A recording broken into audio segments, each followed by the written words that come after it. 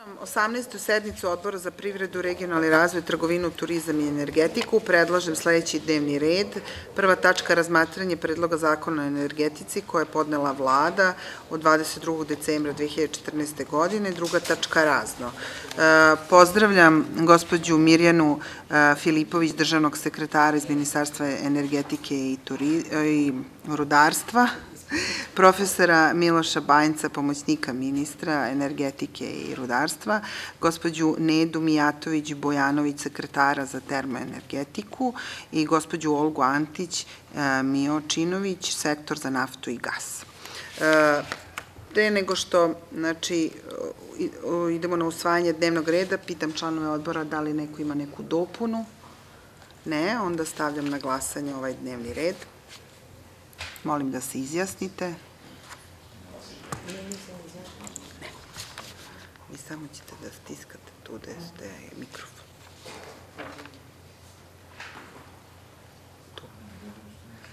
Zaključujemo glasanje. Konstatujem da je jednoglasno usvojen uh, ovakav dnevni red. Prelazim na prvu tačku dnevnog reda, predlog zakona o energetici koji je podnela vlada od 22. decembra 2014. godine, koji ste dobili u pisanoj formi uh, preko svojih poslaničkih grupa. Uh, dajem u ime predlagača reč državnom sekretaru magistru Mirjani Filipović. Izvolite. Prijavite se. Samo... Stisnem crveno. Jeste. Jer sam sad. Evo, izvolite. Ovako, dobar dan svima i hvala za današnji dan pred Novu godinu da usvojimo i ovaj zakon. Što se tiče zakona o energetici, važeći zakon donet je 2011. godine i njim je urađeno ono što je bilo zahtevano od Evropske zajednice, energetske zajednice i Evropske unije, odnosno usaglašavanje sa drugim energetskim paketom. Odlukom Ministarskog saveta zemalja jugoistočne Evrope 7. oktobra 2011. godine utvrđena je obaveza Republike Srbije da implementira i treći energetski paket do 1. januara 2015. godine. Ono što je još primenjeno i što je moralo da se primeni, što je Republika Srbija preuzela kao svoju obavezu i kao članica energetske zajednice, to je postizanje obnovljivih izvora energije 27% u ukupnoj finalnoj potrošnji i najmanje 10% potrošnje goriva u transportu do 2020. godine. E, glavni elementi e, trećeg energetskog paketa su upravo implementirani u zakon o energetici, odnosno u predlog zakona o energetici koji se nalazi pred vama. Ono što se želi postići upravo ovakvim zakonom odnosi se na potpuno usklađivanje domaćeg regulatornog okvira sa trećim energetskim paketom koji se odnosi na električnu energiju, prirodni gas i obnovljive izvore energije. Želi da se, žele da se stvore uslovi za obezbeđivanje sigurno snabdevanja tržišta Republike Srbije energentima, stvaraju se uslovi za efikasno funkcionisanje tržišta električne energije i prirodnog gasa, kao i uslovi za uspostavljanje i funkcionisanje organizovanog tržišta električne energije ili ti, što je nama prijemčljivi izraz, takozvane berze električne energije. Stvaraju se uslovi za učešće stranih pravnih lica na bilateralnim, bilansnim i organizovanim tržištima električne energije. Zaštita svih kategorija kupaca, naročito energetskih ugroženih kupaca i kroz ovaj predlog zakona je prožeta, kao što je bila ostvarena mogućnost i u prethodnom. E, e, zabrana međusobnog subvencionisanja energetskih subjekata, što inače predstavljeno od uslova energetske zajednice suzbijanje e, nelegalnih tržišta nafte i naftinih derivata, kao i obaveza jačanja nezavisnosti Agencije za energetiku. E, povećava se e, nivo zaštite konkurencije, nediskriminatorskog ponašanja, kao i transparentnosti svih učesnika na tržištu. Ovim zakonom se želi otkloniti upravo i one nedostaci koji su postojali u prethodno, u važećem zakonu o energetici. Pored oblasti električne energije, prirodnog gasa i obnovljivih izvora energije, kao i položaj rada delako kruga Agencije za energetiku, ovim zakonom se utvrđuje i oblast e, nafte i naftinih derivata, kao i toplotne energije i energetske delatnosti. Ono što posebno želim istaći da na izradi predloga zakona o energetici učestvovali su svi energetski subjekti u Republici Srbiji, kao i mnogobrojne međunarodne finansijske institucije, e, Svetska banka, Evropska e, banka za obnovu i razvoj, e, naša preduzeća iz oblasti toplotne energije, kao i imali smo dosta sastanaka i usaglašavanja sa Komisijom Evropske zajednice i Energetskom zajednicom. Tako da su svi ovaj, dali svoj doprinos i komentar i kao takav Energetska zajednica je predložila da zakon treba da bude usvojen. Zahvaljujem se. Jesi isključujem se njom? Ja ću vas isključiti. Otvaram diskusiju po pitanju ovog zakonskog predloga. Molim članove odbora koje je zainteresovan da se javi. Gospodin Novica Tončev. Malo pre ovaj, pogledao malo zakon, nisam stigao da pitam, ali hoću nešto iz prakse da pitam. Bio sam šest godine predsednik opštine i interesuje me niskonaponska mreža. Kako je obuhvaćen i ko je vlasnik niskonaponske mreže? Ako primer kod nas u opštini Surlica elektrodistribucija neće da legalizuje svoje objekte.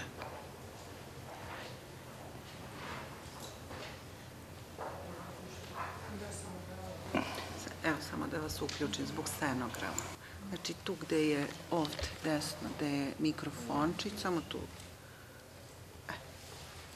Znači svaki put, a ja vam dajem reč. Izvolite. Mi smo u odredbi člana, samo trenutak, koja uređuje distribuciju električne energije, predvideli šta čini distributivni sistem električne energije. To što vi prepoznajete kao problem, do sadašnji sigurno je bio problem u pogledu preuzimanja, znači, te mreže, zato što smo imali problem u primjeni zakona o javnoj svojini, jer po tom zakonu o javnoj svojini je mreža opšte dobro i kao takva s njom raspolaže država. A da bi ona mogla da se da privrednom društvu na upravljanje i korišćenje, imali smo problem koji smo morali premošćavati na taj način, što smo znači prema vladi za svaku konkretnu znači mrežu išli sa prijedlogom zaključka da bi onda vlada takvim zaključkom prvo primala neku mrežu na poklon, a onda znači to što je primila na poklon u javnu svojinu, iz javne svojine davala putem ugovora na upravljanje i korišćenje privrednih društva. I to, to je problem koji je prepoznat i s obzirom na zahtjev direktive koji traži da se operatori prenosnog i distributivnog sistema budu i vlasnici svog sistema, upravo zbog toga je bio i motiv našeg ministarstva da predloži da taj, znači, pa te mreže postaju vlasništvo operatora, kako prenosnog, tako i distributivnog sistema. Iz tog razloga e, zamoću vas da pogledate član 128 i onda vam kaže šta čini distributivnu elektroenergetsku mrežu. I tu se, mislim, nalazi odgovor na vaše pitanje, to je znači stav 2.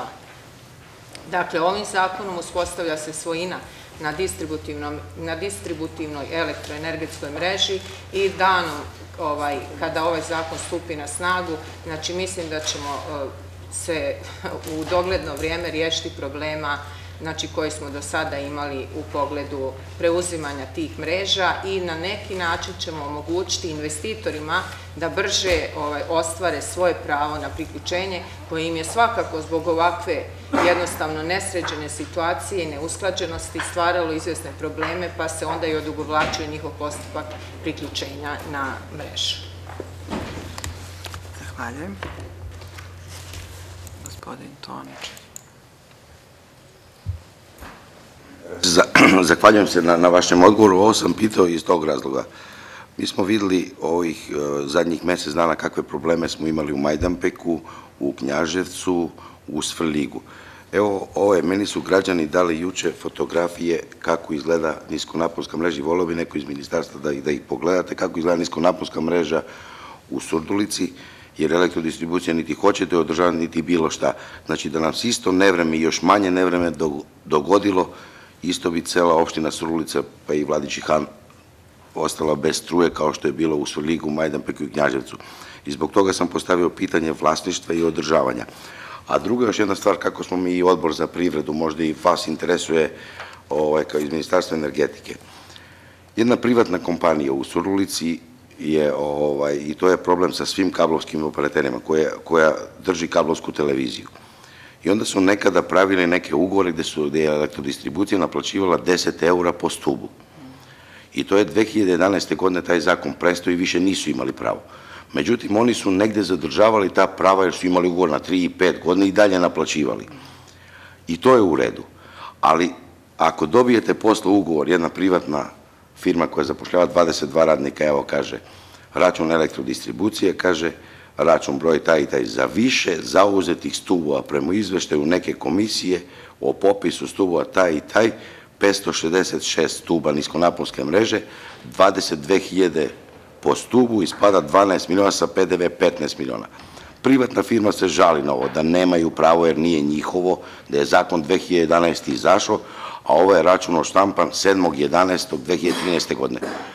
Distribucija blokira pre 10 dana ovu firmu, 22 radnika idu bez posao, idu na biro, što je šteta za državu isto u ovo vreme, a najtragičnije što opština Surdulica ostaje bez kablovske televizije, to je jedini operater, ostaje bez jednog radija i bez televizije, jer je blokirana firma.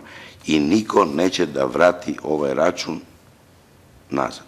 Da li je ovo da 22.000 se naplaća? Zbog toga sam pitao vas iz ministarstva, ja sam postavio jedno poslaničko pitanje, ja kao predsednik Skupštine na reakciju građana sam odgovorio, pogledao sam.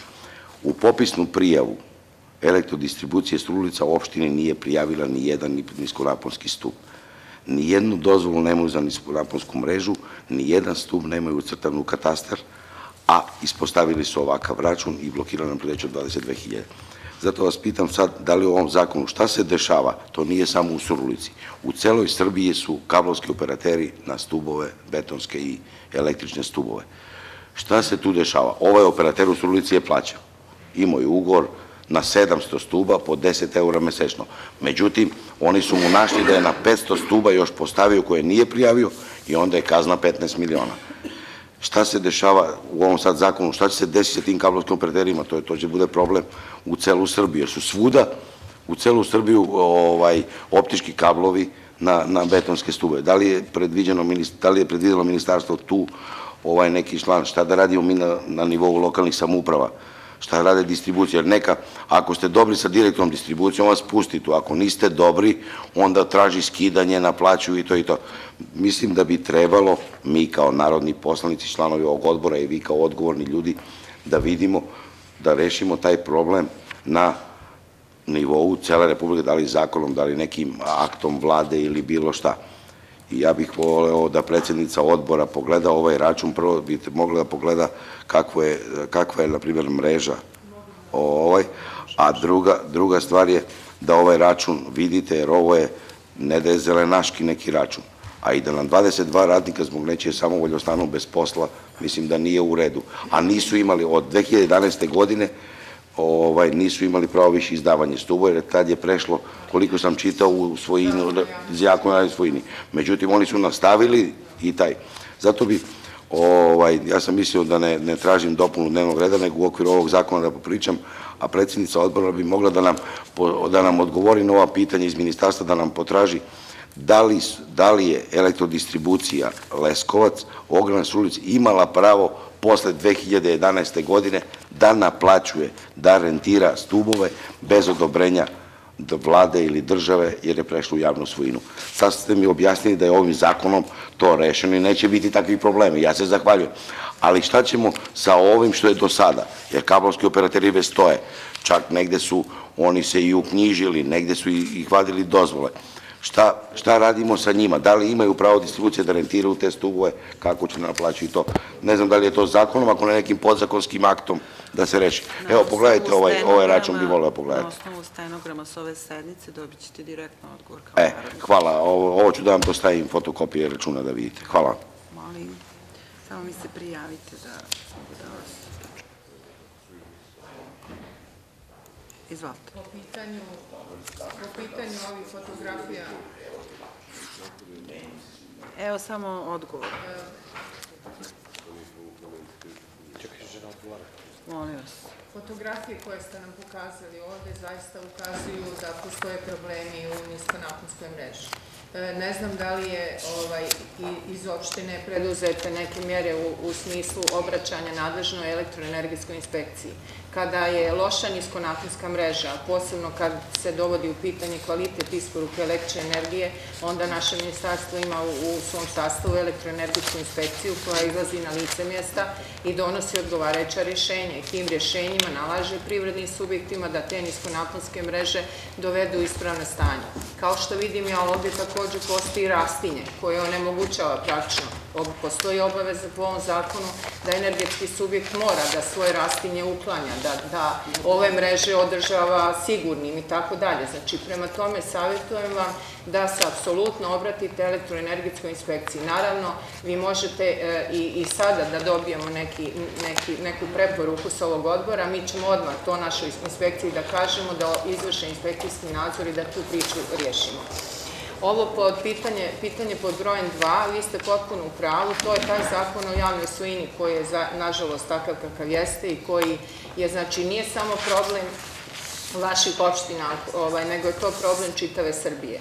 I mi sad ovim ovim zakonom, znači na neki način ćemo to barem na, na, riješiti tako što će ovi postati vlasnici tih svojih mreža. Ali to je sve ostalo stvar ugovora. Znači, pitanje je sada to šta je, e, pošto postoje ugovori, postoje znači i e, one norme u ugovoru gdje kaže u slučaju spora šta se dešava. Znači, ono što je bilo, onda je to apsolutno iz ugovornih obaveza i obično piše da se riješi sporazumno ili ne, onda putem suda. Nažalost, mislim da će onda biti ovaj, jedino rješenje putem suda ako tako u ugovoru piše. Zahvaljujem. Ja, ja, ja. Evo, gospodine Tončev, da se ne pretvori. sam dobio, ova privatna kompanija je pisala, pisala vašoj inspekciji i juče mi je, juče mi je u Surulici doneo vlasnik, kaže, vaša inspekcija se i povodom ovog računa i povodom svega oglasila kao nenadležna. Pa nije nadležan za račune, znate? Pa ko je, da, ko je nadležan za ovakav račun u ovoj zemlji Srbiji? Ugovorni odnos. Pa ako, a da li je mogao on ugovorni odnos, ugovorni odnos, ako je potpisan ugovor 2010. godine, molit ću ovo, ima stenogram da mi se posluguje, ako je ugovor potpisan 2010. godine, kad nije važio zakon, da li je 2011. godine, kad mu je uzeto to pravo, mogao da nastavi i dalje naplaćuje to, ako nije više njegova svojina? Znači, to je zakon o imovini. Da. Imovinskom odnosima, nije zakon o energetici. Dobili ste sad, dobit ćete odgovor, a onda sve ostalo ide sudskim putem. Hvala lepo. Da. Sledeći prijavljen. Kolege, nemate da pitate neka pitanja? Evo ja imam samo neka pitanja. Znači da se razluči, pošto će verovatno biti dosta diskusije o trećem paketu, kao jednom paketu koji je nesprovodiv u ovom trenutnom a, pravnom sistemu u odnosu na onaj deo koji se je vezan za Ustav, a to je da je 100% mreže, elektromreže Srbije vlasništvo države. Znači da smo ovim predlogom našli određeno kompromisno rešenje u odnosu na direktivu koja to jednostavno traži da ne bude i onoga što su naše ustavne obaveze. Znači, ustavna obaveza je 100% vlasništvo mreže je u nadležnosti države Srbije, odnosno ovlašćene e, kompanije koja se brine o tome. To je znači elektromreža Srbije, ali tako? Oni su zaduženi. To će biti jedna od dilema kako direktiva u suštinski je e, otprilike za sada e, nesprovedena u tom delu u 100%. Drugi deo je oko trećeg paketa direktiva nadležnosti proizvođača i distribucije gasa električne energije, kako su razdvojene nadležnosti, odnosno kako je opet nađen put kompromisa između onoga što je nama politički sistem kojim je nadležnost e, Ministarstva energetike vlade, a traži se prema trećem paketu da budu dva nezavisna tela i to da budu iznad rada ministarstva, odnosno ne mogu da, da bude isti organ nadležan, a to je vlada. Vlada je nadležna za rad dva ministarstva. E, Direktiva trećeg paketa govori o tome da to treba da bude nešto što je iznad praktično rada ministarstva. Pa čisto zbog pojašnjenja, jer će na to verovatno biti fokusirano i evropske integracije i sve, da je zakon u skladu sa evropskim e, normama, propisima trećeg paketa, a kako je u stvari došlo do dogovora. Najvažniji deo da je ovaj zakon e, bio na usaglašavanju sa energetskom zajednicom, to je najvažnije, i da je znači energetska zajednica dala kao jedno od stepenika do 2020. Zbog toga sam ja juče postavila pitanje na odboru za evropske integracije. Ja znam da znači, međunarodno pravo ide iznad nacionalnog prava, ali da li to znači da sa našim direktivama koje treba da implementiramo, dolazimo u problem sa određenim ustavnim e, karakteristikama, da li Evropska unija ima uopšte pojam o tome da mnoge stvari mi ne možemo da implementiramo i transponujemo 100%, jer ipak naši nacionalni propisi govore mnogo toga drugačije i da u stvari na koji način ste vi došli do tog kompromisa sa energetskom zajednicom. To nas interesuje da bi ovde svi poslanici čuli, znali kako da odgovore na ta pitanja. Eto.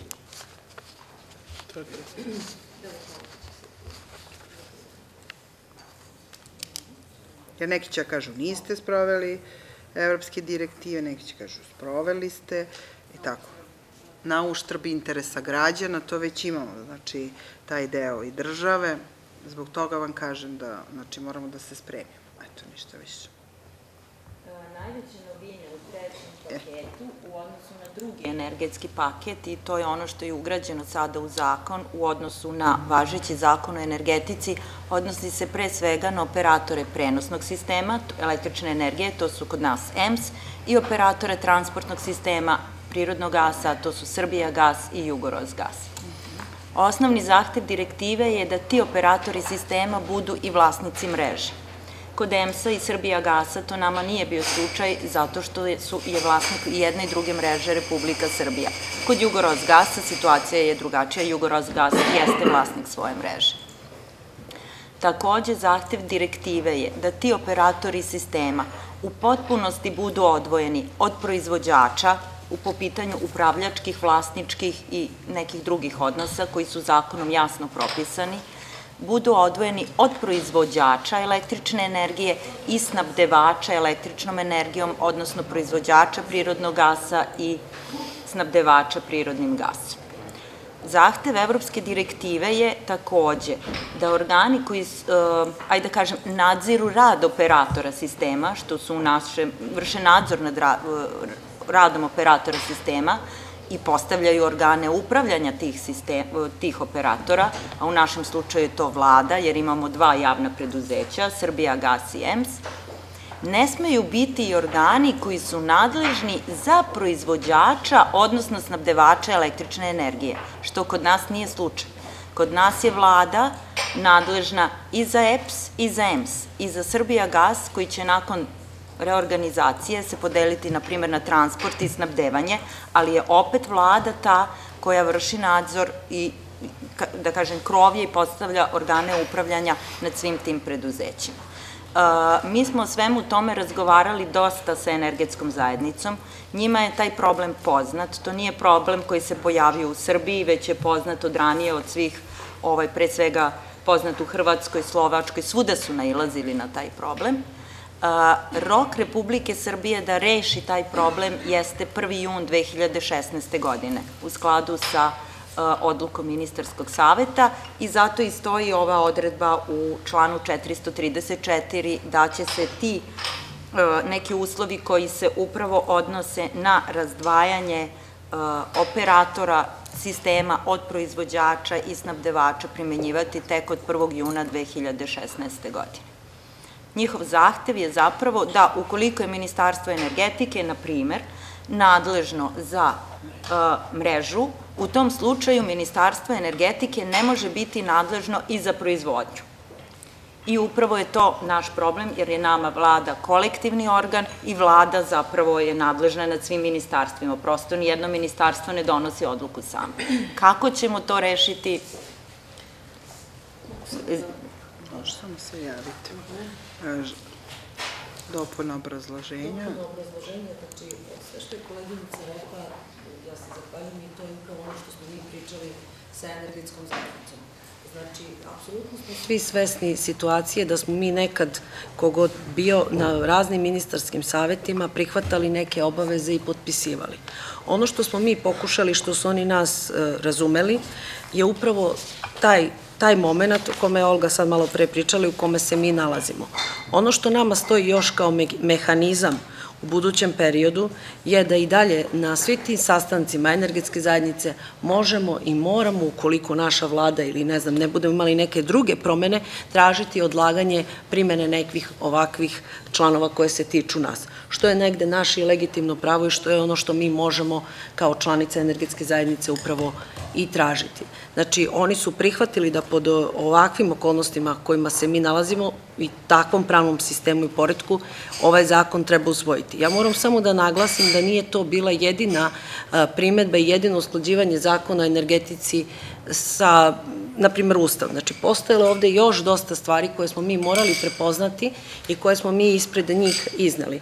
Ono što je veoma velika sugestija bila, to je, e, na primjer, usklađivanje zakona javnim nabavkama sa nekim delom koji se tiču odredbi i našeg zakona i zakona o javnim preduzećima, što koleginica dodaje, jer negde u bukvalno u toj takvoj kakva je Evropa, neke od tih stvari ne, ne, postoje, ne postoje takve odredbe.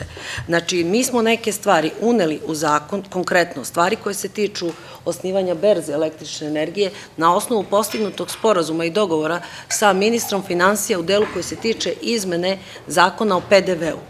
Znači, da bismo mogli ovde u Srbiji sutra, prekustra, ne znam, kad usvojimo zakon, osnovati berzu, morali smo ići na izmenu jednog člana, jednog par članova, ali ne mnogo veliku, zakona o PDV-u. Znači, bukvalno, e, to smo uspeli da postignemo i to je negde, da budem iskrena, dosta e, prihvaćeno od strane energetske zajednice na jedan veoma pozitivan način, što je njima onako neki razvojni moment za nas i za uopšte celokupnu energetiku.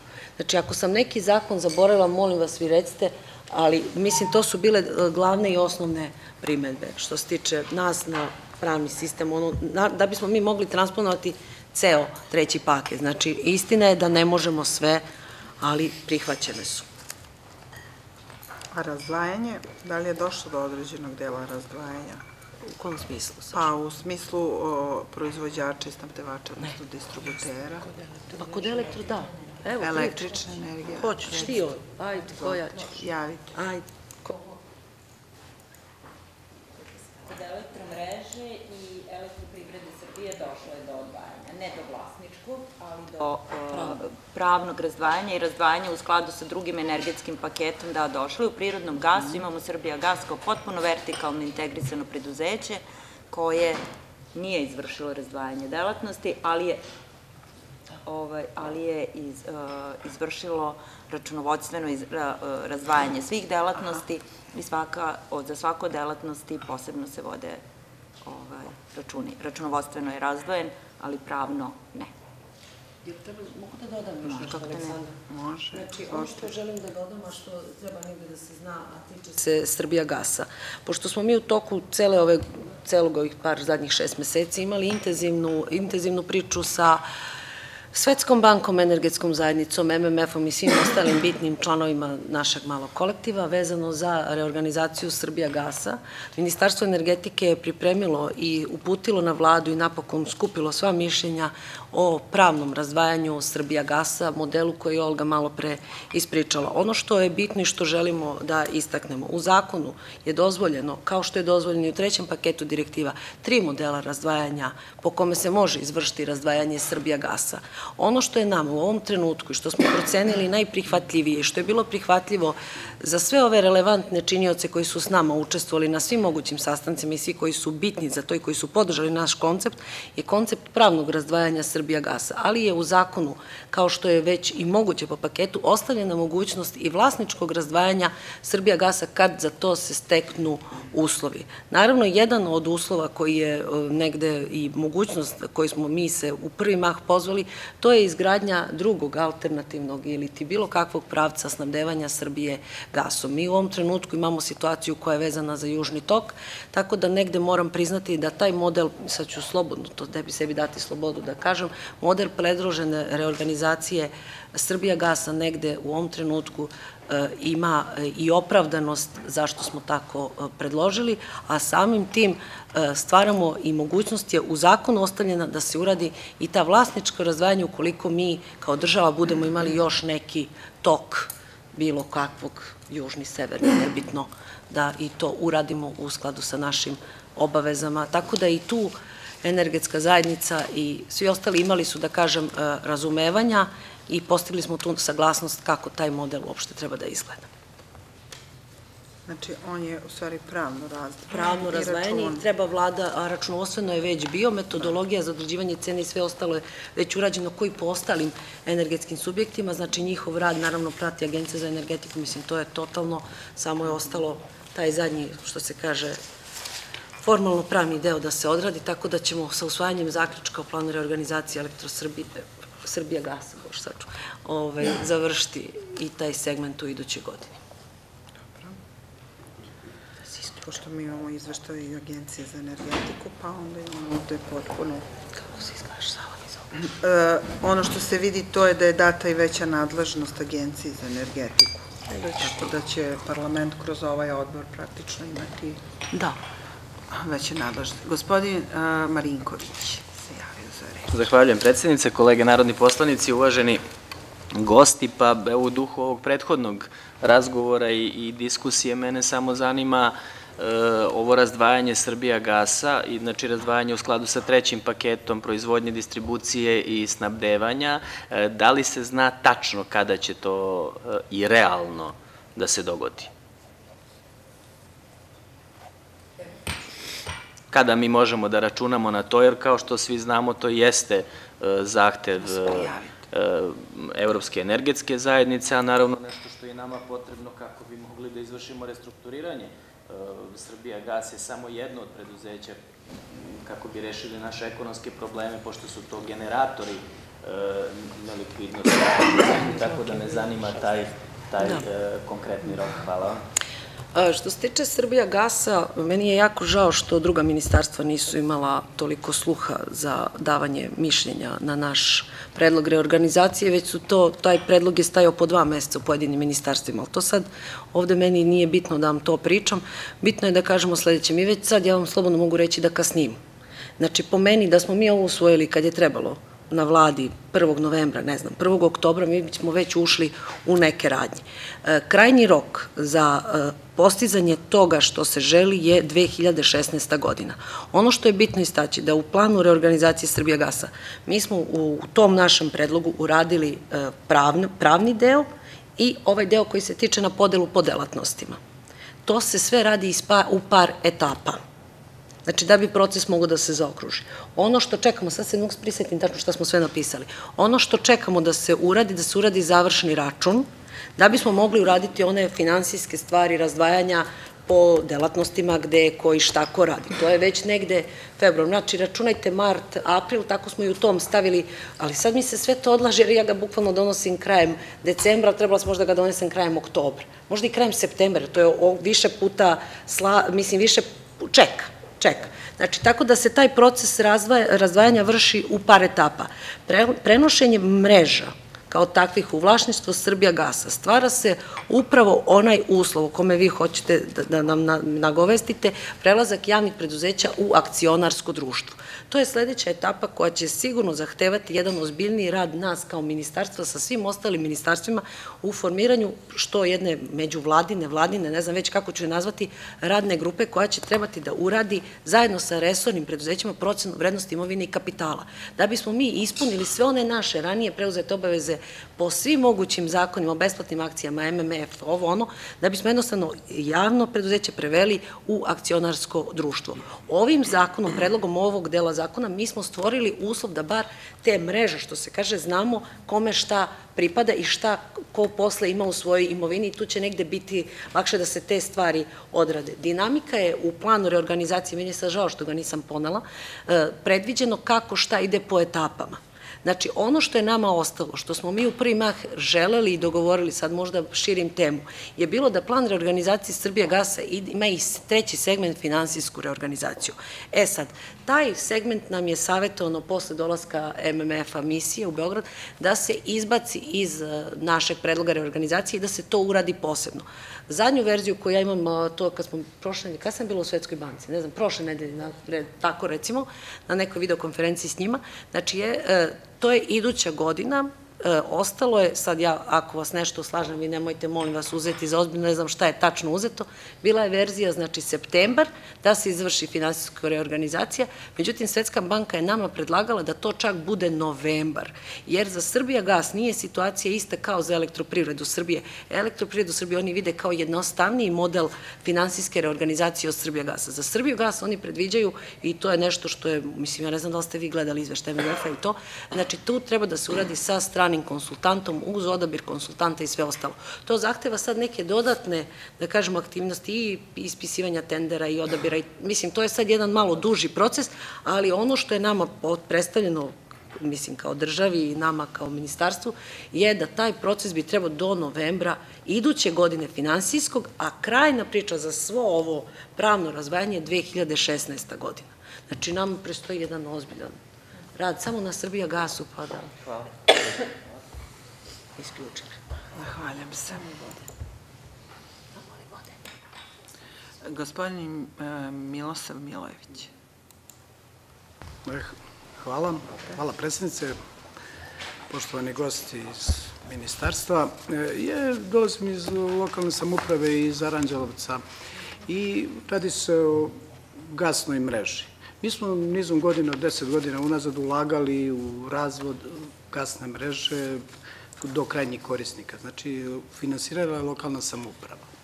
Pa, naplatu vrši Srbija gas, distribuciju i sve to. Šta možemo mi da očekujemo za taj novac koji smo uložili u razvoj te gasne mreže, koji nije ni malo mali, negde preko 3, preko 3,5 miliona eura? Ko je vlasnik sada? Mi smo vlasnici u principu, ali vi vršite distribuciju. Šta mi možemo da očekujemo ili neku rentu ili nešto za to ulaganja? a to se sigurno odnosi i na druge lokalne samuprave, svi su investirali na određen način. Mi smo e, sobstvenim sredstvima preko našeg formiranog javnog preduzeća GAS tada uložili u tu i dalje ulaže. Ima odgovor? Da li, ako možete da mi odgovorite, ako ne, nije Može, bitno. može. Evo, izvolite. Ne znam sada tač, distributerna mreža je Srbija gas. Je tako? Da bi neko obavljao delatnost, distribucija mora imati licencu za to. U vašem slučaju to je Srbija gas. On može da obavlja delatnosti tako što ste vi vlasnik mreže. Odnos između vas i Srbija gasa je samo vaš odnos koji vi regulišete ugovorom. Ukoliko ste već dali Srbija gas u mrežu da na njoj obavlja delatnost, onda ste te odnose, da li će vama Srbija gas davati neku nadoknadu za to ili ne, morali da regulišete ugovorom. Lokalna samouprava i Srbija gas. Isključivo sa Srbija gasom možemo... Vi ne Javite se. Hoćete se javiti. Ovo je vrlo interesantno pitanje zato. Znači, ovaj, mi isključivo preko ugovornih preko ugovora, ajde, ne obaveza, nego znači saradnje te ugovorne možemo, i šta sad mi sad kažemo, ne želimo mi da ustupimo tu mrežu ili tražimo neku određenu rentu i vi kažete mi nećemo da isporučujemo gas potrošačima. Znači, to su dve nevezane stvari. Jedna je vlasništvo nad mrežom, a druga je obavljanje delatnosti na mreži. Vi ste vlasnici mreže i samo vašom dobrom voljom neko može da koristi tu vašu mrežu i da na njoj obavlja delatnost. Pored Srbija gasa, u Republici Srbiji postoji još 33 licencirana distributera. Srbija gas nije jedini distributer u Srbiji. Isto tako, vi ste mogli da se licencirate ili da osnujete kompaniju koja bi se licencirala za obavljanje delatnosti na toj mreži. Ali pošto ste se vi odlučili da mrežu date, da se njom služi Srbija gas i da na njoj obavlja delatnost i isporučuje gas, onda ste te odnose između vas kao lokalne samouprave koja je vlasnik mreže i distributera kome ste dali mrežu da njome upravlja, morali da regulišete ugovor. Jer Srbija gas je mogao da se licencira na vašoj mreži jedino koji je imao ugovor o zakupu. Znači, da bi se neko licencirao na nekom objektu, on mora da dokaže po kom osnovu koristi taj objekat za, korišće, za obavljanje delatnosti. Da... Možete da se javite da pričamo o detaljima, ali Ili ću poslušati pitanje za... Ja, ali posle. Za Mara. Dobro. Gospodin Tonče. se nadovežem na pitanje kolege, da li ovo isto važi, kao što sam malo prekao, pošto mi u Surlici nemamo gas, da li ovo isto važi za niskonaponsku mrežu, jer je opština i mesna zajednica radila niskonaponsku mrežu. Nema ugovor sa distribucijom, nije predala distribuciji. I sad faktički zbog toga nam je ovakva mreža, zato što niti je opštinska, niti je distribucijna. Da li ovo isto važi za niskonaponsku mrežu, vlasništvo niskonaponske mreže? Jer je opština gradila niskonaponsku mrežu i mesne zajednice. Da. Ovo nije isti slučaj u električnoj energiji i prirodnom gasu. Nije isti slučaj u električnoj energiji i u prirodnom gasu. Kod električne energije vlasnik je svuda Republika Srbija i, e, odnosno, e, elektrodistribucija ili kako, EPS. Korisnik. Korisnik je EPS. Kod prirodnog gasa nije tako. Postoji razlika.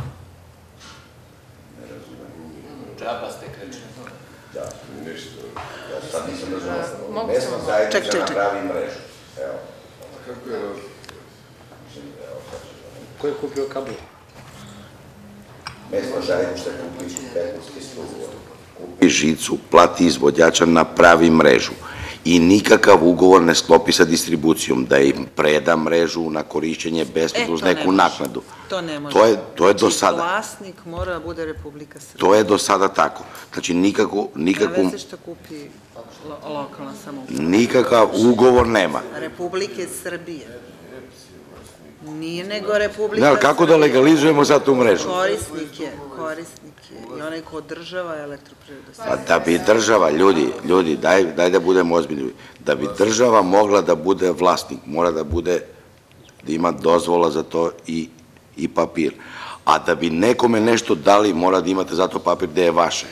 Greška. Ovde stoje- Opština je investitor. Da. Ona je platila da se izvede investicija. Dobro. A imovina je, znači, Republika Srbija. U ime Republike Srbije vlada ima javno preduzeće koje se zove Elektromreža Srbije, koji se bavi održavanjem te mreže, izgradnjom, unapređenjem. Znači, mora da se razluče stvari.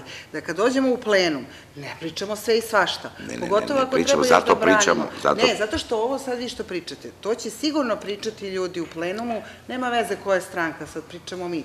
Dajte da mi kao članovi odbora barem znamo o čemu pričamo, da se ne desi da u plenumu izađemo sa nečim, da ne baratamo sa činjenicama i da tamo se učimo. Evo ja ću, da, ja ću jedan odgovor mi dajte. Znači, nije isto Evo gas i mreža. O, distribucija je podnela sad za legalizaciju neke, nismo naponske mreže, NN mreže, za legalizaciju. Moji službenici u opštinu traže njima dokaz svojine. Šta, koji papir da nam donesu da bi oni legalizovali tu mrežu? Evo, to je pitanje Srbija. Evo, kažite mi. Seljak ima račun da je kupio stup, mesna zajednica ima račun da je kupila stubove i kablove, ima račun da je platila izvođača. I ona to, na primjer, neće da te papire. Sa kojim papirima distribucija može da legalizuje tu mrežu? Jer u, po zakonu o legalizaciji mora donesete papir o vlasništvu. Nemaju oni, e, ajte, javite. Mislim, hoćemo... Prijavite se. Da, da, bolje, bolje.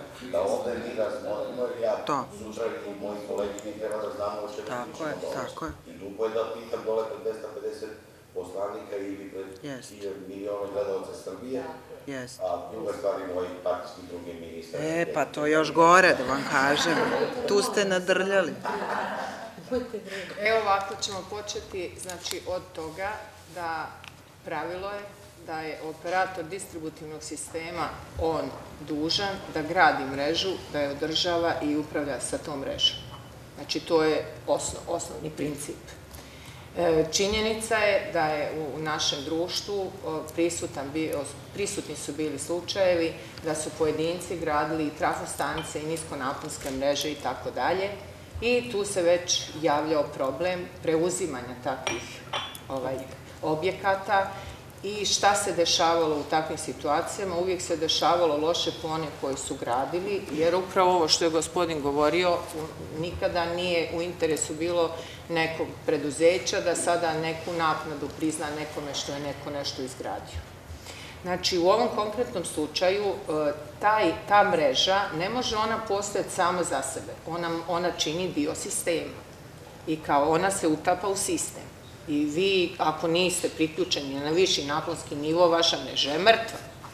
Mi smo i u ranijem zakonu, važećem sada, imali ovaj obavezu svih vlasnika mreža da svoju mrežu predaju operatoru distributivnog sistema. Jer ovdje u zakonu i stoji da mrežu čini to i to. I stoji u prelaznoj normi da su svi dužni da predaju to ako je to njihov dio mreže. A sada nadoknada Znači je stvar između operatora i vlasnika mreže. I to se rješava, ja sam, ja sam zaista i kroz čitavu, znači, polemiku oko izrade zakona, kada su bili distributeri prisutni, zaista se uvijek zalagala za jednu pravičnost i, znači zapravo da ti ljudi koji su ulagali imaju i priznanje za to što su ulagali. I mislim da je to stvarno jedna stvar ugovornih odnosa i dogovora, znači na neki način da ljudi imaju neku satisfakciju od toga što su radili. Znači pravilo je nema da drugi gradi, nego mora graditi onaj koga je država osnovala. On mora da gradi. A kod nas se dešavale su suprotne st- stvari, pogotovo u tim e, dru- malo manjim po- mjestima i tako dalje, gdje su se organizovale mjesne zajednice, gdje su investitori gradili trafostance i onda smo imali probleme. Da. Čak su i mesne zajednice bili vlasnici je. određenih objekata. Tako je. Znači mora sve da Ne samo to, postane... vodovod, Čim je ono u sistemu, pravilo je da ono mora biti u vlasništvu, sad pogotovo, u vlasništvu operatora distributivnog sistema.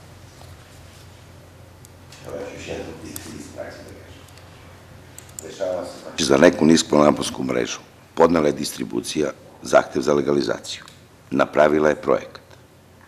Ljudi koji su ulagali neće da im prenesu to bez nadoknade. Kako će da im damo mi opštine dozvolu za to? Da im legalizujemo te objekte? Jer nemaju papir za vlasništvo. Pa pazite, do, do, do juče, Takvi će da budu slučajevi ne samo u opštini Suto, u svaku opštinu ima tako. Jer mesna zajednica je izgradila sve, bez ikakav papir, znači, što kažu našim građanima je bitno da imaju struju. Kaže seljak, pusti ti meni struju, mene ne interesuje, ja sam kupio i stubove i žice i sve, ali distribucije ne naprave ugovor da se prenese bez nadoknade, sa nekom nadoknadom ili bilo kako, ne prenese mrežu i ona sa mreža se nigde ne vodi. Oni podnose za legalizaciju, naprave projekat, ali nemaju distribucije nikakav papir za vlasništvo. I kako opština da da? Evo, ide zakon, izmene i dopune, da doprinos za uređenje građevinskog zemljišta, to ide u ovom paketu zajedno sa energetikom, za određene objekte u javnoj svojini komunalne i druge infrastrukturne, proizvodne skladišne objekte, podzemne etaže objekata, on čitam, znači da je to vezano, rešava problem, za garažna mesta, postanice, trafostanica, osim za delovne podzemne etaže koje se koriste otvorena dečija igrališta, otvorene sportske terene i atletske staze. Znači da se, da će se izuzeti praktično od naknada. Taj deo je kao javna To površina. je naknada za Znači, plaćanje gradskog građevinskog zemljišta, to se slaže. To Ali ka- kako će se reši svojina, koji papir, evo, Bez ja vam kažem. naknade će prenos ići, Bez- pošto je budžet, investitor je opština ili mesna zajednica, republika je, pošto je to isti budžet. Nije opština jedan budžet, pa sad drugi. Jeste, opština drugi. Pa Ima nije sve budžet, jedan budžet. To je, to je sad, pa papirić će da To je, ide bez kakve papire će da ima? Oni sad traže da im se plati ta određena vrsta. Ne, ne, ali posebno, taj zakon kaže, čitao sam i njega. pitate kako će da da izvršite Ne, ne, ne, taj je, zakon? kaže da sad u legalizaciji ovakvih javnih objekata opštine nemaju pravo da naplaću, da naplaću naknadu za gradsko građevinsko zemljište. To smo pročitali i usvajamo taj zakon u petak. Mene interesuje oko legalizacije, ne naknada za plaćanje legalizacije, nego interesuje me koji papir da donesu oni da su vlasnici. Ne može, Zakon, zakon, prelazno i završen, dan stupanja. javno preduzeće elektroprivreda, odnosno je. njegova zavisna privredna društva za distribuciju, postaju vlasnici distributivne mreže. To je znači zakon. Zakonom postaju Zakon vlasnici. i. I onda je drugačija situacija. Onda se može njima direktno prenositi, sada nije. Ovo je, ovo je nastalo iz zbog, znači ovi što su napravili ovakav račun, ova distribucija nije imala pravo do sada da napravi ovakav račun i da blokira poduzeće po meni, jer do sada nije bilo njihovo vlasništvo, je li tako? Tako sam vas razume. A sad ovim zakonom, znači bez ikakvog papira oni postaju vlasnici, nek naprave projekt i možemo mi da im legalizujemo mrežu u opštine. To je. Zakon. E, okej, hvala. Molim. Sledeći prijavljen, gospodin Dejan Kovačević. Zahvaljujem. Ja ću vrlo kratko da se nadovežem, nadovežem na ovu temu. Mislim da, da nismo došli do, do adekvatnog odgovora iz jednog prostog razloga. Mi sad zakonom regulišemo status i reći ćemo da vlasnici elektromreže jesu distributeri ili ti EMS, tako, celu mrežu prenosimo EMS-u. Ali i dalje ne rešavamo tu priču nadoknade fizičkim licima koji su učestvovali sami u gradnji te mreže. Znači, dolazimo do jednog apsurda. Ja sam napravio elektromrežu u svom selu od 500 metara od niskonaponsku mrežu od prve trafostanice do svoje kuće i vi sad to uzimate kao vaše, vaše vlasništvo, a uzmemo, uzmemo za primjer da će ta, taj EMS možda nekad biti privatizovan, pa će vlasnik biti neki Nemac, Kinez, ne znam nija ko, što znači da će on upravljati resursima koje sam ja napravio. I mislim da to nije rešenje i nije odgovor koji smo dobili od vas. Zahvaljujem se. Ali ja moram da vas podsjetim nešto. Znači, taj zakon je već na snazi od 2011. godine. Znači, s tim što je moralo do sada već da se završi taj postupak ustupanja mreže. Znači, mi sad idemo, to je drugi paket, mi sad idemo na treći paket koji kaže liberalizacija tržišta vezana i za mreže, i za distributere, i za proizvođače i pri tome mi nismo sposobni to da uradimo jer nas ograničava Ustav. A znači mi još uvek nismo sve prebacili da kažemo to je državna imovina, odnosno nismo se pomirili sa tim. Zato što su mnogi uložili, nisu dobili adekvatnu Tako nadoknadu za to i to je to. I onda je to... Sad sa, sa ovim, malo sam pitao sa kabelskim operaterima, jer im skidamo optički kabel sa prekrasnog strugova ili ne, ljudi mora da znamo i to. A, optički kablovi energetskog sistema. Ne, ne, ne, kabelski operateri nas... To nije vezano za zakon o energetici, to je sistem telekomunikacija, nemojte da mešamo, nego oni koriste njihovu mrežu, e pa da, Oni se plaćaju, da ne faktički elektronički plaćaju ili ne plaćaju. Samo sekund, što se tiče, sam ako mogu samo Evo, sekund, što se tiče kablovske mreže, OPGV kablova, znači da ne bude, da ne bude zabune, ne znam da li mi ko sluša, da ne bude zabune što se tiče OPGV kablova i svega toga. OPGV kablovi takvi kakvi su, služe i ugrađeni su i rađeni su da bi sistem kao sistem mogao da funkcioniše. Tu mrežu je u vlasništvu elektroprivrede Srbije, ta mreža nije komercijalizovana, niti je bilo ko imao mogućnost da taj segment komercijalizuje. Ovu mrežu o kojoj vi pričate, to je, to je, to je totalno druga situacija od onoga što postoji u energetskom sektoru. Da li mogu tu mrežu? Oni izdaju kabelske operatere ili ne? samo se prijavi, dobro, ajde, ponovo se javite da odgovorite. Šta, da li mogu? Da li su to sad, evo, evo ovako, Distribucija mreža. Kako? Što da ne može? Može. Koristi se. A kome da izda? Ne mrežu, ne izdaje mrežu, nego znači oni samo svoj stup, ko, stup znači preko koga će se vršiti da, Mogu, pa putem ugovora. elektrodistribucija može tu da da. A, pa sad kad postaje vlasnik može. Sad može, ako je sada, Mogla i ranije, do, dvih, do stupanja na snagu zakona o javnoj svini. zato i meni treba odgovor sad. Znači, ovaj odgovor tražim u pisanom formu. Znači, do 2011. je mogla da izdaje. Od 2011. do stupanja Zakon ovog zakona nije mogla, sad opet kad postane vlasnik moći će. Jesam tako razumeo? Da li sam dobro razumeo? Zakon o imovini, Da li sam sad to dobro razumeo? Evo zakon, znači do 2011. su mogli da izdaju dok je izašao zakon o javnom svojini. Od 2011. do stupanja na snagu ovog zakona nisu mogli, sad će opet moći jer će biti njihovo. Jesam to dobro razumeo ili nisam? Molim? su dobili saglasnost od direkcije za imovinu, možda su mogli. Da, da, ako smo od 2011. imali saglasnost, ali bez saglasnosti. Nisu. Znači, saglasnost.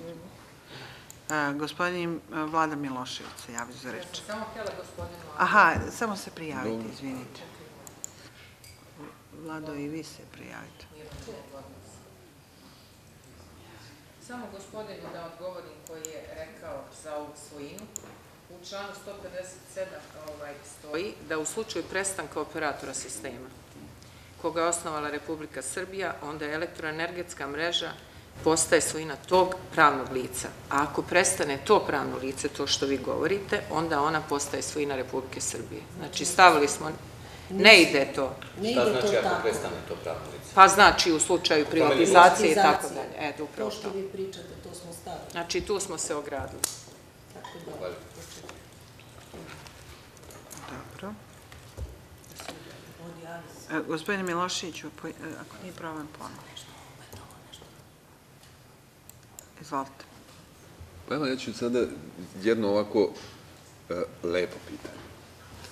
E, utvrdili smo sada ko je vlasnik elektromreže.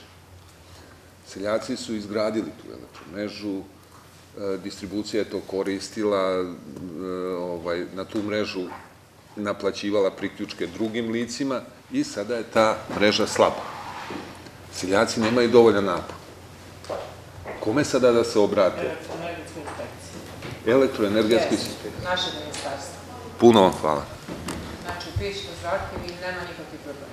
Ako šta nego ćemo pisati. Hvala. E, Ako mogu još samo nešto, evo, se moram prijaviti po pitanju, znači, apsolutno, ovaj, kvaliteta, mi smo, mi smo, znači, sada zaista jako puno ovde, ovaj, propisali o, odredbi u pogledu kvaliteta napona, isporuke električne energije, tako da se tu i agencija uključila u pogledu pokazatelja kvaliteta i načina kako se taj kvalitet utvrđuje, tako da ja mislim da ćemo to postepeno dovoditi u red i da će ljudi sve manje se ovaj, suočavati sa takvim problemima, pogotovo znači imajući u vidu i veću odgovornost operatora distributivnog sistema koji više nije ono što je nekad bio. Nekad je operator distributivnog sistema bio i na, neki način snadbjevač. On je sada ipak samo mrežar preko koga se vozi električna energija, pošto snadbjevača u Republici Srbiji trenutno imamo 85 i pošto je odgovornost tog operatora distributivnog sistema jako velika, on će se i takako truditi da njegov napon bude dobar, jer on će morati da snadbjevaču plati štetu, jer više snadbjevač nije samo neko iz EPS-a, snadbjevač može biti Čez, može biti Njemac, može biti kogod hoće, znači od 85 registrovanih. Tako da situacija po ovom zakonu sada mnogo uozbiljuje, znači operatore distributivnog sistema. Mnogo, mnogo je, ovaj, teža im je uloga i mnogo je veća odgovornost.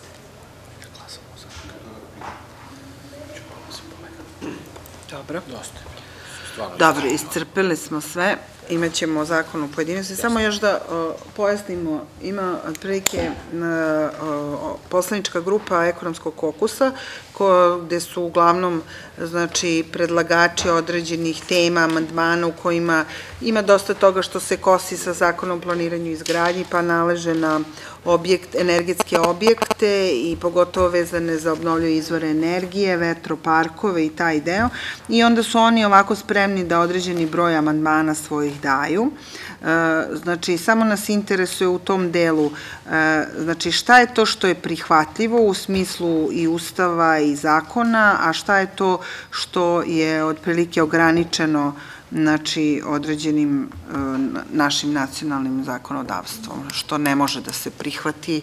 U smislu toga imali ste prilike znači da vidite te predloge, jer su oni verovatno slali i vama i nama isto. Mislim, ne verujem da su oni sad tu nešto drugačije poslali.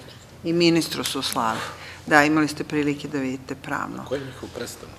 Ko je njihov predstavnik? Ja ne znam ko je Ko, predsednik. pre, ko je predlagač ovoga? Ko je predlagač? Kad pričamo o naledu, znači, ja bih volila da znam ko je predlagač i nama je došao jedan papir ministru sa nekih Da. Gmailova, Yahoo mailova i tih mailova. Da. gde ne postoji niko ko je potpisan, niti bilo kako zaglavljen, niti bilo šta. Dobro. E, ono što ja ovom prilikom želim leći, a moje kolege će tačku po tačku, svaki član možemo da obrazložimo, ako, ako želite, spremni smo na to. Ovaj, e, gomila ovih, e, gomila ovih e, komentara i predloga je već u zakon uneta.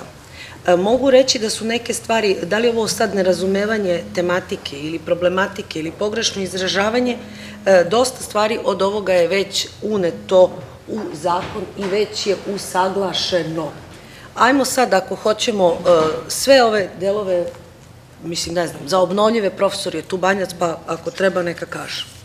Pa interesuje nas to za obnovljive naročito. Znači, Ajde, Miloš. ukratko, čisto da znamo o čemu se radi, da ne bude da je odbor neobavešten o tome. Dobar dan svima još jednom. E, Nadovezujući se na izlaganje gospođe državnog sekretara Mirjane Filipović, preko 70, da ne kažem 80 procenata ovih primjedbi koje smo dobili od naleda je već uključeno i implementirano u sam zakon, pa odatle malo izbunjuje ovaj, odakle te primjedbe dolaze. Da. Dakle, Dobro?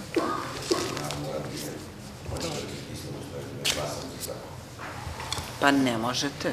Onda, ja, reći u vašem partijskom kolegi da niste glasali. Glasam za zakon. Da, dobro. Ovde ima nekih dvadesetak stranica ovaj, tog teksta sa puno komentara, pa ja ne bih išao baš u pojedinosti. Ako naravno hoćete, možemo i član po član, stav po stav da e, razmatramo. U Ono načelu, osnovno- znači. Ono osnovno, dakle, Eto. jedna od primjedbi je da je, e, se traži da bude jedan ugovor e, o otkupu električne energije koji se uspostavlja između proizvođača električne energije, dakle investitora i kupca te električne energije. To je i stavljeno u zakon. Ranije su bila neka tri ugovora, Znači da sada već u zakonu postoji takva forma da se ide sa jednim ugovorom. Sa, naravno, odloženim dejstvom kako šta bude ispunio investitor, tako stupa na snagu sledeće. To je mnogo bolje, naravno, za investitore, jer imaju bankabilnost projekata i banke će im davati garancije na to, odnosno davaće im kredite. E, status povlašćenog proizvođača, e, prethodni status povlašćenog proizvođača sada je predviđen za sve proizvođače iz obnovljivih izvora energije. Do sada je bilo za vetar, samo za proizvođače iz vetra i iz e, solarne energije, sada je to predviđeno za sve. To je isto implementirano u članove zakona. Izgradnja priključaka, što je e, bilo isto predmet dosta rasprave, je stavljeno u zakon, dakle investitor, mada se to sada malo kosi s ovim malo pre što sam slušao, ali pošto je takva tema, dakle investitori su tražili mogućnost da sami izgrade priključak, dakle trafostanicu i dalekovod. A mi Što im- visoko naponskoj mreži. što im je ovim izašlo se u susret napravljena ta, ta vrsta ustupka, oni to imaju naravno pod uslovima koje im e, da, da EMS, dakle Operator. operator. Preključak mogu sami da urade. Da, mogu. Mogu, ali da ne predaju. Predvideli Da. smo i mogućnost da fizička lica, da fizička lica mogu da budu, dakle ne više pravna samo, nego i fizička lica mogu da budu steknu status pološenog proizvođača električne energije, ali naravno samo za male objekte do 30 kW solarne energije. Dakle, da ne moraju da imaju više firmu, nego moraju, mogu da budu i kao privatna Do lica. 30, Da. Do 30 Da. kW za solar. To ti oni mali, po, po zgradici. a za vetar nemate. Pa nemo, Vetar. Vetar su ozbiljni objekti sa Ozbiljni, energetskom šta? licencom, sa svim što treba, to su objekti Koji znatno utiču 100 na. I ne mogu na fizičko I ne mogu na lice. fizičko Naravno da lice. ne. Slažem se. E, Garanciju porekla smo vrlo detaljno u nekoliko članova tako je. razradili u I potpunosti, usaglasili u potpunosti, dakle, u saglasnosti sa energetskom zajednicom, do, do detalja. E, Naravno, sve u zakon ne može da se stavi što piše u direktivi, to je i nikad i nije bila namera da se stavi i to energetska zajednica prihvata. U podzakonskim aktima se to detaljnije razrađuje. Sam zakon, kao što znate, ima 434 člana i ovako je e, obiman i težak da bi se sagleda u celini. Tako da nismo hteli da preterujemo sa svakim detaljem. E, prenos statusa proizvođača obnovljivih izvora energije takođe, što je bila jedna od, od primetbi, je obrađeno u zakonu i postoji takva mogućnost. Ako Tako nastupe odgovarajući Problemi. problemi, status da. može da se. Može se, tako je. prenese. Znači, to je sve obrađeno. Dosta primetba je bilo o dokazima, o ispunjenosti pojedinih uslova. Po logici zakona, sve dokaze smo stavili da idu u podzakonska akta gde se detaljnije obrazlažu. I to su bili uglavnom primetbe koje se tiču obnovljivih izvora energije. Nešto je bilo primetbe e, vezano za toplotnu energiju. E, Dozvolite samo još par rečenica, znači o tome da kažem, dakle, logika toplotne energije, odnosno zakonske regulative za toplotnu energiju je da se reguliše e, rad gradskih toplana. Da se na taj način nekome ko je dobio poverenu delatnost snabdevanja toplotnom energijom, ograniči mogućnost i ne dozvoli da se, upotrebit ću to malo tvrđu reći, bahato ponaša prema stanovništvu. E, Dakle, nije bilo da se svaki proizvođač toplotne energije ozakoni i da mu se reguliše šta može da radi. Ne male proizvođače. Pritom, da bi, ne bi bila ta zona potpuno crna, odnosno siva, stavili smo da se i za proizvođače već snage od 0,1 megavata vodi registar takvih proizvođača, a preko jednog megavata proizvođača toplotne energije da mora da dobiju i odgovarajuću licencu. Dakle, da se pokrije, ali ne ulazeći detaljno u, u samu tu regulativu, važno je reći, dakle, da je to i dalje prevaskodno delatnost koja se tiče lokalnih samouprava i mora da bude i deo zakona, kao što i sada jeste, e, o komunalnoj delatnosti. Delatnosti. Logika funkcionisanja takvih sistema, distribucije, proizvodnje, transporta i distribucije toplotne energije i finansijska, znači tok novca jeste da se on vrti na nivou lokala, a ne na nivou republike. Ti sistemi međusobno nisu uvezani i nema potrebe da se ministarstvo, odnosno vlada, direktno bavi sa tim, osim u delu da ih donekle usmerava. Pritom, to usmeravanje, mi sad idemo, s jedne strane imamo koncept ra- ra- razdvajanja tržišta, dakle, liberalizacije, a s druge strane, nema potrebe da to centralizujemo na nivo e, ministarstva, da ono u potpunosti kontroliše toplotnu energiju, pošto će to biti nemoguće. Prodavci, kupci toplot, e, energenata će biti razni. Ministarstvo Lokalne samouprave se nije I kretalo to, u tom to je sad i neka ideja, to se često čuje da u lokalnim samoupravama da se naprave neka javno-privatna partnerstva, da su te toplane koje su nadležnosti gradova, Tako je. opština u velikim finansijskim problemima i da se ide na to da mogućnosti nekih pa, znači javnih Partnerstva. partnerstva u tom delu ko je spreman za to i ko ima tu mogućnost. Konkretno u Nišu se tako nešto i dešava. Dobro, i to je zakonom, znači, regulisano. Dobro, da. To je jako dobro. To su, hoćemo, hoćemo i ovaj deo primetbi koji su takođe E, da. date. Ne, doćete vi, izvolite. Znači, čisto da razjasnimo situaciju ovaj, da bude svima jasno. A, Osnovni, osnovna zamjerka je da imamo sukob sa zakonom o planiranju i izgradnji. Ovdje je e, ministarstvo, mislim ovdje moramo da kažemo da smo mi zakon o energetici poslali na mišljenje 5.11. a zakon o planiranju i izgradnji dostavljen je naše ministarstvo 13.11.2014.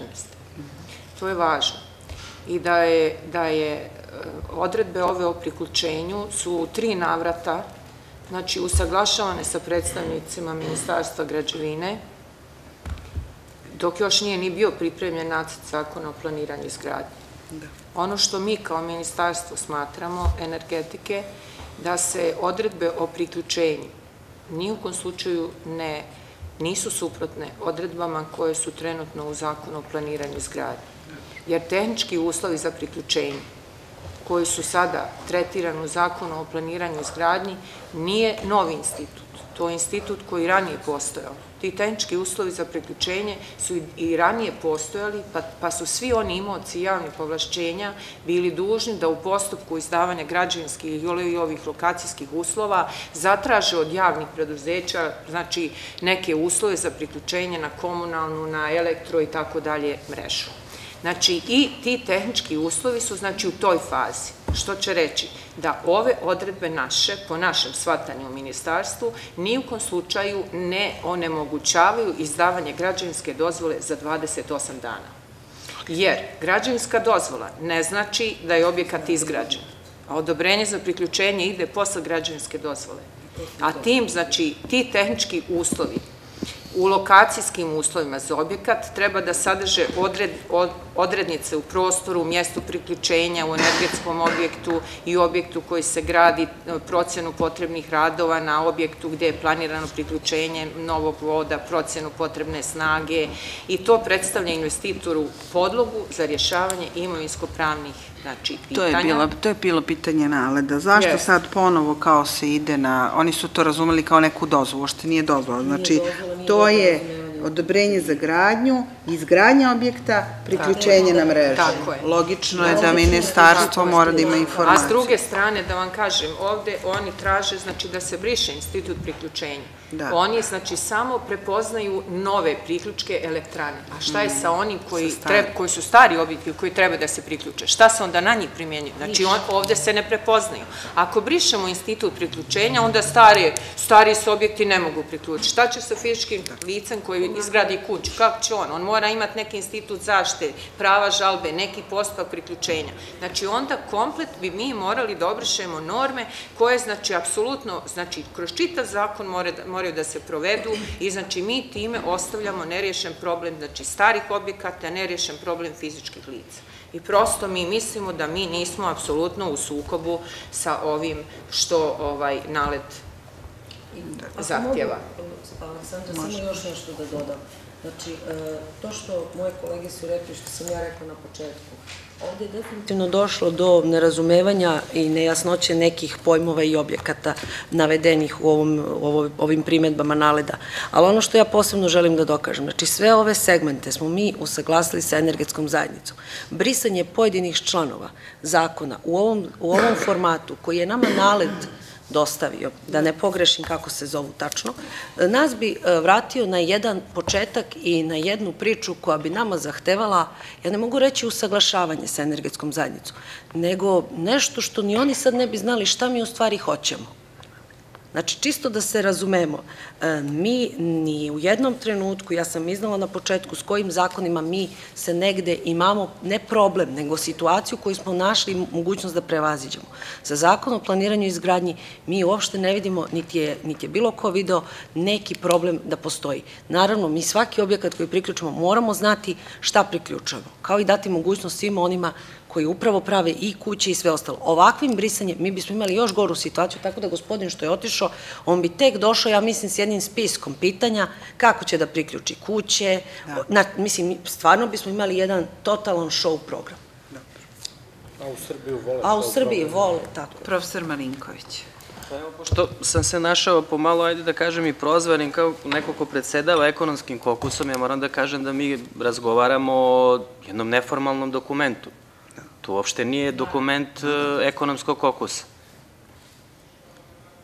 Znači, vi govorite o jednom neformalnom dokumentu koji je stavljen ovde na dnevni red. Ljudi, Ne, kada... nije stavljen na dnevni red. Kada mi, nego ako možete, priče ako možete, da, molim da, vas, dajte mi, dajte mi da priliku da govorim. pre, predupredimo Ovaj, dokument. e, kada budemo hteli i da smo hteli da razgovaramo o tim pitanjima, mi bi naravno pozvali kompetentne ljude, znači vas iz Ministarstva energetike, da zajedno sa privrednicima i ljudima iz Naleda i ljudima iz Narodne skupštine razgovaramo o, o toj temi. Ja potpuno shvatam vaše argumente, ali moram da napravim jednu ogradu da taj dokument nije izašao iz Narodne skupštine niti e, od strane ekonomskog e, kokusa. Jer sad mi možemo da raspravljamo i o primetbama Američke privredne komore ili Saveza samostalnih sindikata Ne, Srbije. su, da, da, oni su Mogu i to sada da vam iznesem. Ako hoćete da to traje ce, ceo dan, nije problem. Tako da ne vidim razlog. Mi kada budemo hteli o tome da govorimo, uputit ćemo e, vam zvanično pismo, napravit ćemo sastanak i napravit ćemo jedan dijalog da vidimo da se ti argumenti, da se ti argumenti suoče u sve ono što ste 70 Ja sam to pogledao, usvojili, ostaje tih 30% koji nisu, tako da bih ja voleo da to e, i bude raspravljeno i prodiskutovano, ali u tom formatu. Eto, to je to. To je samo jedna moja, e, moja sugestija da ne bude da je nedorečeno i da, da prosto se zna o kakvom se dokumentu e, razgovara. To nije iz Narodne skupštine izašlo. Hvala. Samo nešto, Aleksandra.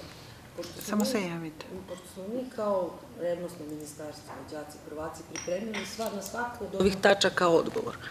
Mi vama neformalno to, Ne treba. pa ako ne treba, ali ako treba, vi pročitajte. Treba.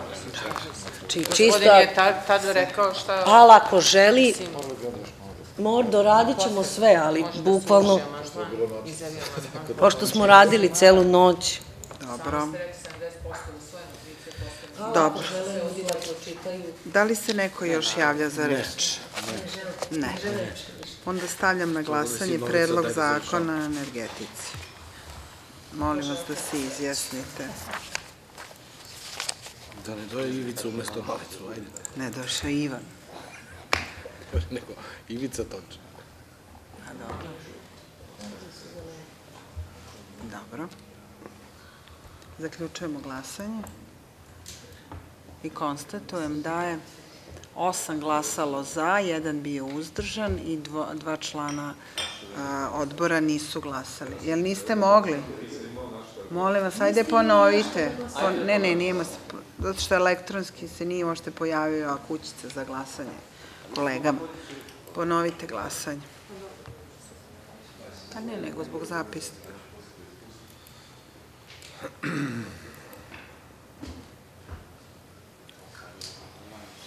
zapisnika.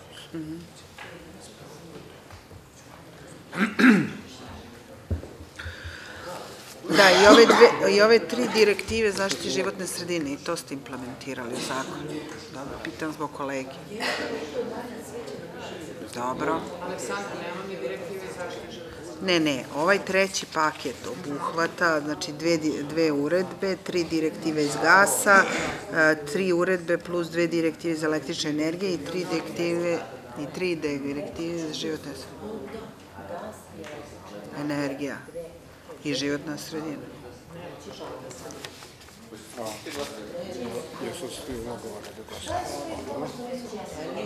Da. Tri direktive iz oblasti, pa evo vam piše. Sada smo završili. E, nisam glasala. Šta je sad? Ajde ponovo. Glasanje. Ulogovani smo. Svi smo, ajde. Da. Evo, evo, evo, sad. Jel imate sad?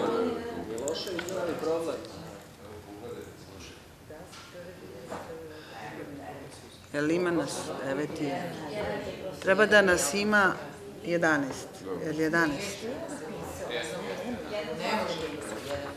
Dobro.